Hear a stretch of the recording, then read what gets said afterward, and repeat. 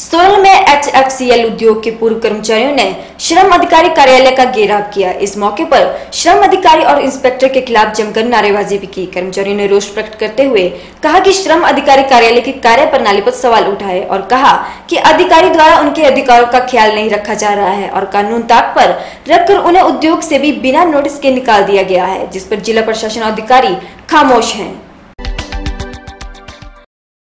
सोलन में एचएफसीएल उद्योग के पूर्व कर्मचारियों ने श्रम अधिकारी कार्यालय का घेराव किया। इस मौके पर श्रम अधिकारी और इंस्पेक्टर के खिलाफ जमकर नारेबाजी की गई। कर्मचारियों ने रोष प्रकट किया और श्रम अधिकारी कार्यालय की कार्य प्रणाली पर सवाल उठाए और कहा कि अधिकारी द्वारा उनके अधिकारों का ख्याल नहीं रखा जा रहा है और कानून ताक पर रखकर उन्हें उद्योग से भी बिना नोटिस के निकाल दिया गया है, जिस पर जिला प्रशासन और अधिकारी खामोश हैं। कर्मचारियों ने रोष प्रकट करते हुए कहा कि वे पिछले दो दशकों से उद्योग में अपनी सेवाएँ दे रहे थे, लेकिन जब उनके यूनियन के पदाधिकारियों को बगैर वजह उद्योग से निकाला गया तो सभी कर्मचारियों ने उनका विरोध करना चाहा तो 100 कर्मचारियों को बिना नोटिस के उद्योग से निकाल दिया गया, जिसके कारण करीबन 100 कर्मचारी एक ही दिन में सड़क पर आ गए। अब उन्हें घर चलाना भी मुश्किल हो रहा है। विधवा महिला कर्मचारी ने बताया कि उन्हें कंपनी से बाहर निकाल दिया गया है, जिसकी वजह से उनका गुजर बसर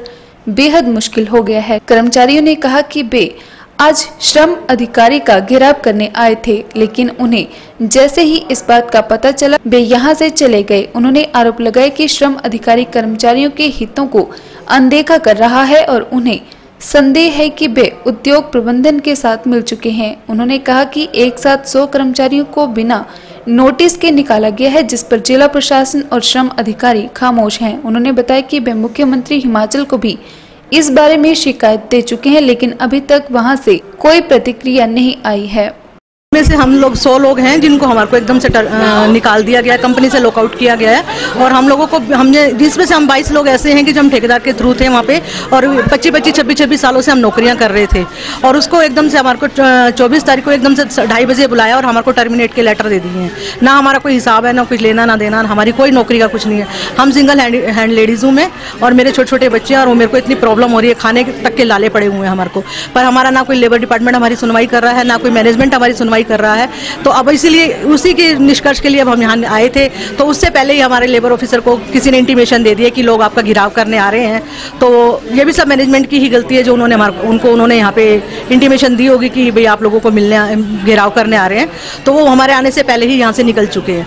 हम लोग कुत्ते की तरह दर बदर घूम रहे हैं। ना इधर सुनवाई हो रही, ना हमारी उधर हो रही है। हमने डीसी साहब के माध्यम से भी जयराम ठाकुर जी को एक ज्ञापन सौंपा था, पर उसका भी हमारी कोई सुनवाई नहीं हुई है। मैं तो एक विधवा औरत हूँ। मैंने अपने बच्चे छोटे छोटे पाले हैं यहीं से मेरे बीस साल हो गए मेरे को नौकरी करते हुए। हमने और हमारी कम कम तनख्वाहें थी, हमने उसी में अपने गुजारे किए हैं। और जो हमारी जगह नया लेबर नया डिपार्टमेंट रखा है, उनको हमसे दो दो, तीन तीन गुना से तनख्वाहें दे रहे हैं। फैक्ट्री के अंदर इतनी बुरी हालत है, वहाँ से लगभग सौ हमारे कर्मचारी साथी, श्रमिक साथी नौकरी से बाहर कर दिए गए हैं। और ये बात उन दिनों की है पिछले महीने हम यहाँ मांग पत्र हमने दिया है, मार्च में यहाँ कंपनी प्रबंधन को भी और यहाँ लेबर डिपार्टमेंट को उसकी कॉपियाँ दी गई हैं। तो उसके ऊपर यहाँ समझौता वार्ताएँ चल रही थी काफ़ी लंबे समय से। और एक अभी पिछले महीने हम जुलाई में 11 तारीख को यहाँ से समझौता वार्ता से जब कारखाना में गए तो वहाँ जाते ही हमारे को तीन तीन हम साथी, हमारे साथी यूनियन के प्रधान, महासचिव और संयुक्त सचिव को उन्होंने सस्पेंशन ऑर्डर दे दिए कंपनी ने कि आपको नौकरी से बाहर यहाँ सस्पेंड कर दिए गए यहाँ से। और उसके बारे में अभी तक कोई चार्जशीट नहीं दी गई है। जब वर्कर हमारे श्रमिक साथियों ने कहा कि ये गलत तरीके से आपको इनको निकाला गया तो आप इनको अंदर लीजिए, वो नौकरी पे लें। तो उन्होंने एकदम से अचानक से सौ सौ आदमियों के लिए लॉकआउट कर दिया और बाहर गेट के बाहर ताला लगा दिया। और इस समय लगभग सौ आदमी हमारे गेट के बाहर हैं। और इस टाइम कोई सुनने वाला नहीं है।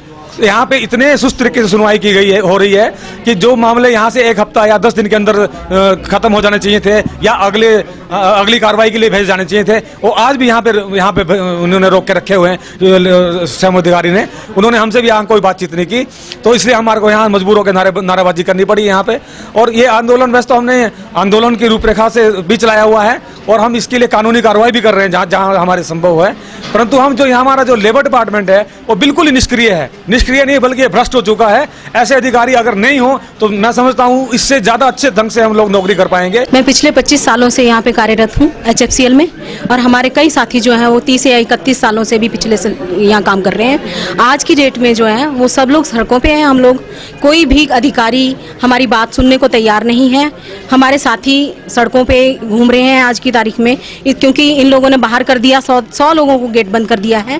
और प्रशासन की तरफ़ से हमारे लिए कोई भी मदद नहीं है कहीं भी। लेबर ऑफिसर जो है हमारी बात सुनने से पहले ही यहाँ से निकल गए, क्योंकि वो हम लोगों का सामना ही नहीं करना चाहते किसी भी बात को लेके। तो ये था आज दिन भर का कार्यक्रम, कल फिर हाजिर होंगे नई गतिविधियों के साथ। आप ऐसे ही जुड़े रहिए एस टूडे के साथ। नमस्कार।